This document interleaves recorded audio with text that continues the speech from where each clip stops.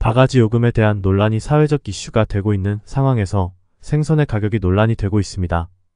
가격에 비해 터무니없이 양이 너무 적은 것 아니냐고 문의하는 손님에게 횟집 주인이 욕설을 하며 쫓아냈다는 내용인데요. 해당 내용은 지난 1 온라인 커뮤니티에 회 10만원 이게 맞나요? 따지는 손님한테는 쌍욕까지라는 글이 올라오며 이슈가 됐는데요. 글쓴이는 서울의 한 횟집에서 10만원짜리 광어회와 방어회를 주문했다고 합니다. 사진을 보면 첩시에 광어 방어회가 손으로 셀 정도로 적은 양의 회가 보이는데요. 여기에 반찬은 김, 백김치, 쌍장이 전부였습니다.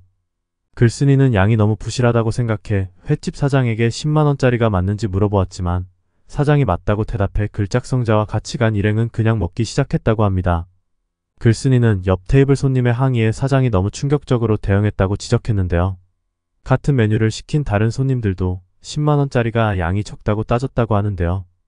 사장이 본인 테이블을 가리키며 저기도 그냥 먹는다며 젊은 XX가 싸가지 없이 XXXX 그냥 환불해 줄 테니 나가라고 욕을 했다고 썼습니다.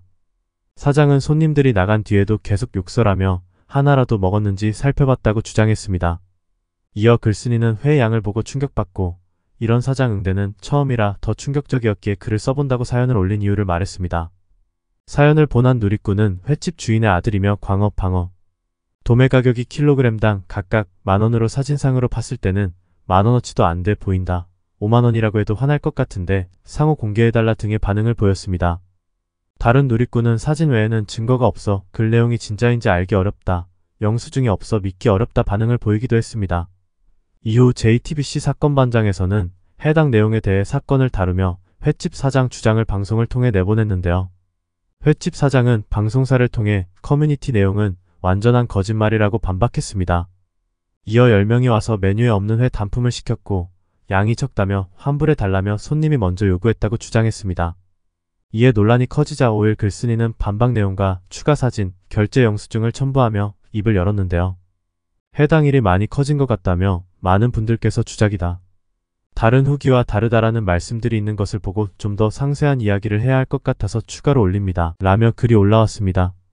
글쓴이의 주장은 4명이서 2차로 횟집을 가게 되었다고 말하며 횟집 주인에게 간단히 먹을 메뉴를 물어보니 광어와 방어 10만원짜리는 먹어야 된다고 말을 했다고 합니다.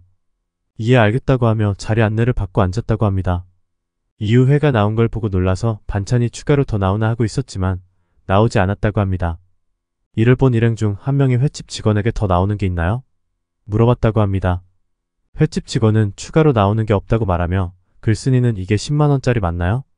라고 되물었다고 합니다. 이에 맞다라는 답변이 돌아왔고 같이 간 일행 중 한 명이 매운탕은 나오나요? 라고 물어보았으나 횟집 직원은 매운탕은 세트에는 나오고 단품에는 안 나옵니다. 라고 대답하였다고 합니다.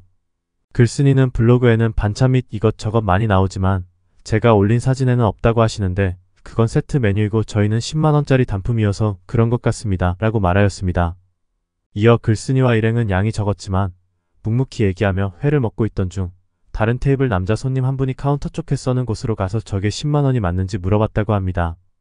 이에 사장님이 맞다고 하자 아니 이게 어떻게 10만원짜리냐고 따지면서 두 사람의 언성이 점점 커졌다고 말했습니다. 글쓴이가 처음 회가 나왔을 때처럼 해당 손님도 같은 상황이 발생했다라고 말했습니다. JTBC 사건 반장을 통해 방송이 되고 횟집 사장의 말만 듣고 방송이 되어 추가 글을 올린다고 말하였습니다.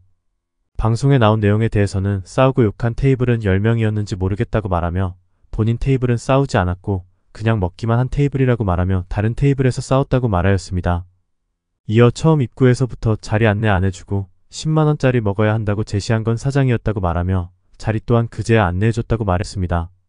추가로 그날의 영수증을 올리며 총 15만원에서 회 10만원, 매운탕 별도라고 해서 생대구탕 2인분, 소주 4병이었다고 말하였습니다.